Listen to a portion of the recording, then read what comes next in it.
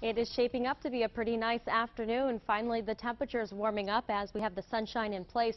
We're at 68 degrees right now at the Inner Harbor, 64 up in Parkville, also in the low 60s as you get up into northern Baltimore County, and even mid 60s being reported right now out in places like Westminster. So these are going to be very comfortable temperatures as we take you through the rest of the afternoon. Hardly a cloud in the sky, just a couple, especially off to our west and down to the south. So as the kids get out of school at 3 p.m., they're going to see temperatures around 70 degrees. By about dinner time, we're still in the upper 60s with just a few clouds in place, then mostly clear skies tonight as we start to fall back into the low 60s and even 50s into the evening time frame. For tonight then, we'll continue to be clear and it is going to be a little on the chilly side. We're talking temperatures in the upper 40s downtown, but as you get farther out into the suburbs, it gets a lot closer to the 40 degree mark.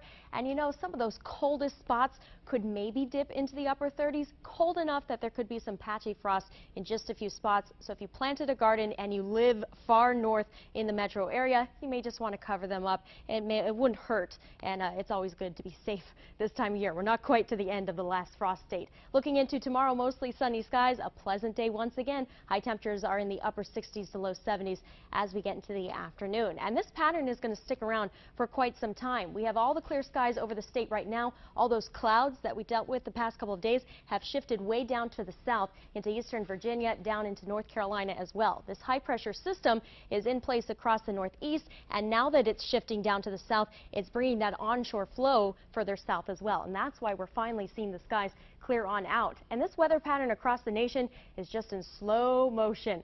That's why we had all that dreary weather lasting for a couple of days, and now we're going to see this high pressure system last for a couple of days. Eventually, a cold front comes in from the west, and this will eventually start to moderate as it moves our way. So we're really not going to see a big dip in temperatures, but we will notice a couple of rain chances going into next week. But for now, this is a pretty powerful cold front out in the plains, cold enough to produce some snow from Denver all the way up into Minnesota. So they are just relentless when it comes to the end of winter. They are just uh, aren't able to get into that springtime weather. Fortunately for us, we're soaking up all the spring weather we can get.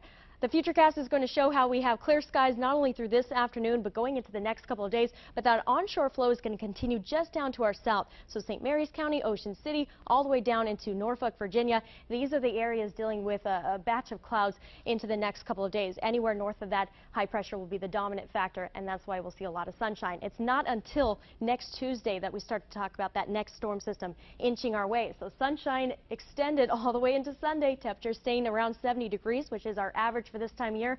By next Tuesday, finally, our next chance for rain.